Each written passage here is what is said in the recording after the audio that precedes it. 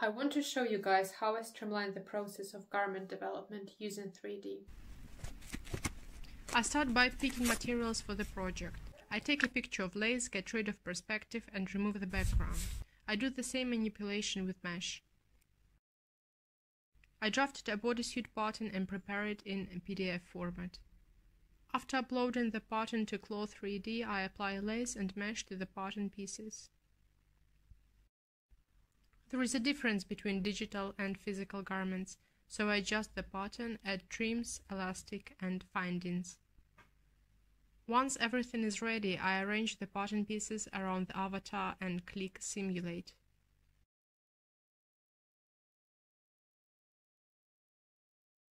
When I'm happy with the final design, I save pictures of it for a tech pack.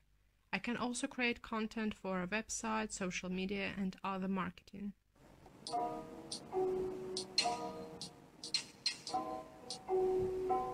If I need to change my design, I can do it straight away on the avatar by changing the lace position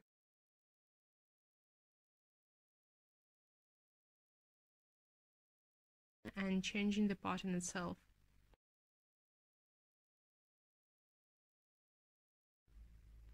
I can create multiple variations of the same style using different combinations of lace and mesh.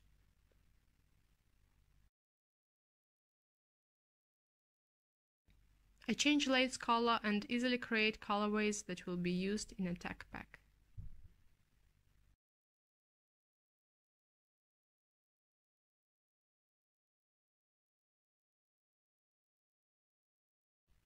I can check grading of my garment with the help of 3D without producing samples in all sizes.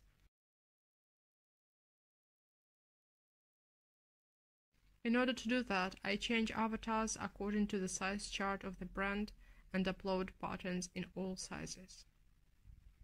My name is Vera and I'm designer and pattern maker. If you need any help with garment development, let me know.